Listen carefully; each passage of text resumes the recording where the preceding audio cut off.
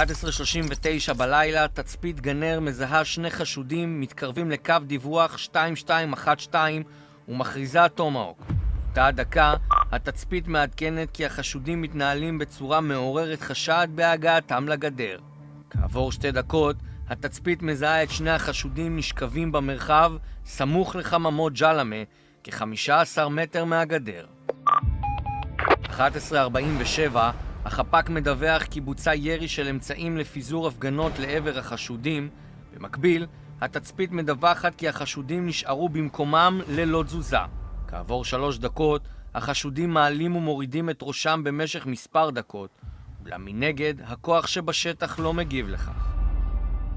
שעתיים מתחילת האירוע, מח"ט מנשה, אלוף משנה אריק מויאל, נמצא כבר במקום ומפקד על האירוע, יחד עם רב סרן בר פלח, שמגיע עם הצוות שלו. כעת רואים את בר מתקדם עם הכוח באיגוף לעבר החשודים, כאשר מויאל נמצא במרחק גדול יותר מהם, עם הכוח שלו וכלי הנשק שלהם מופנים לעברם.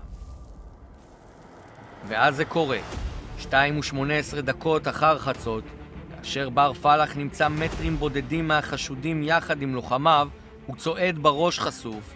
מחבלים פותחים באש לעבר הכוח, כתוצאה ממנה בר נפגע באורח אנוש ומתמוטט. לוחמיו יחד עם הכוח של מח"ט מנשה פותחים לעבר שני המחבלים במכת אש ומחסלים אותם. ארבע דקות מתחילת ההיתקלות, תצפית גנר מדווחת כי שני המחבלים נוטרלו.